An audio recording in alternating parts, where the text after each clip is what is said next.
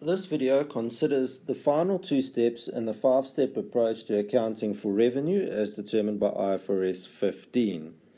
Up to this point, you would have considered whether there is a contract with a customer, you would have analyzed that contract to determine the performance obligations, and then you would have calculated the transaction price for those for the contract. Now you need to allocate that transaction price to the various performance obligations identified in step 2. The transaction price is then allocated to these various performance obligations based on the relative standalone selling prices of each of those obligations as they would usually be sold in individual transactions all on their own. The calculation of the apportionment is done at the inception of your lease contract. Let's consider the following example to illustrate this step. C Limited entered into a contract with B Limited. In terms of this contract, C Limited will supply equipment to B Limited at a transaction price of 1 million rand payable upon delivery and installation. At this point, it appears as if there is a contract with a customer and that the performance obligation is the supplying of this equipment. The million rand price is inclusive of installation and training. C Limited charges the same price regardless of whether installation and training is performed or not. That gives you an idea that this million rand is the standalone selling price for the equipment. Other companies can perform the installation and or training. The estimated fair value of the installation services is 10,000 rand. The estimated fair value of the training is 25,000 rand. Returning to step 2 in the process, it appears that the installation and training are separate performance obligations, and we've now been given the relative selling prices for these specific obligations. The costs incurred by SEMA Limited to manufacture the equipment amounts to 750,000 and they make use of the perpetual inventory system. Let's consider the journal entries.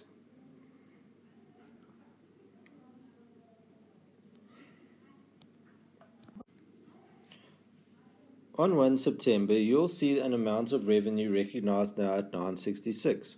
This isn't the million rand. You'll also see revenue recognized on 1 November of 9,000. Again, this isn't the 10,000 Rand. And then there's some unearned income. This must be on the training that's delivered over time, but again, not at the standalone selling price.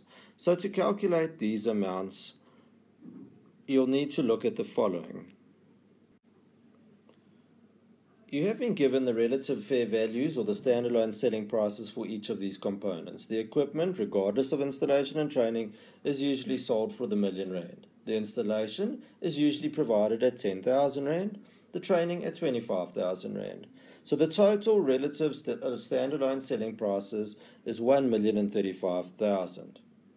Our transaction price for this specific transaction though is 1 million rand. That is the amount entered into in terms of the contract and will cover these three separate performance obligations. You then need to take that transaction price and allocate it to each of the performance obligations on the relative selling price. So, for example, the training is 25,000 relative selling price, but you need to then go and allocate the transaction price to this component.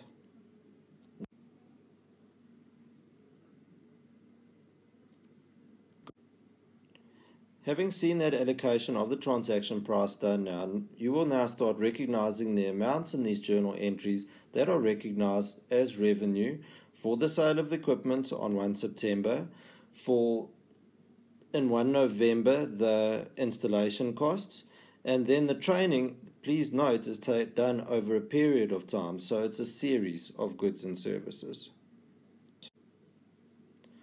It may happen that your transaction price includes a discount amount.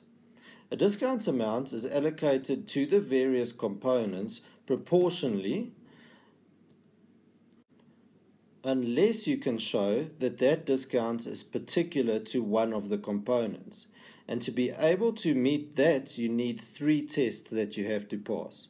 The entity will regularly need to sell each of those components at a standalone basis, that it sells them at a discount, and that the discount on the transaction price is close to or approximates the discount that would normally be granted on the component that you are targeting the discount towards.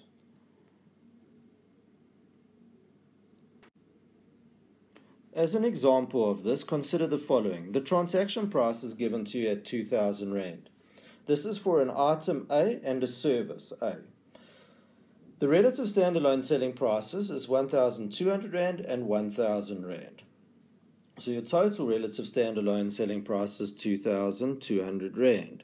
There is discount specific to item A of 50 Rand, assuming those criteria are met.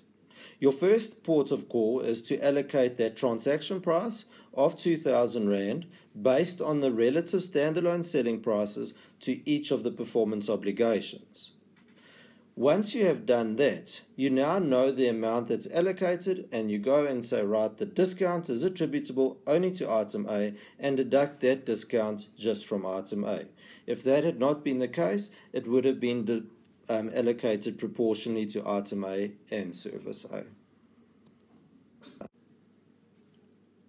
The final step in this five step process is now to recognize your revenue when the performance obligation is satisfied. Your performance obligation is satisfied when there is a transfer of control from the seller to the buyer.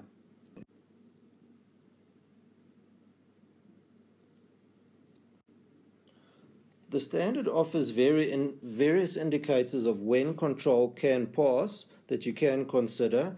It might be sufficient to meet one of these indicators, maybe several of these indicators. That will be requiring some professional judgment on your part.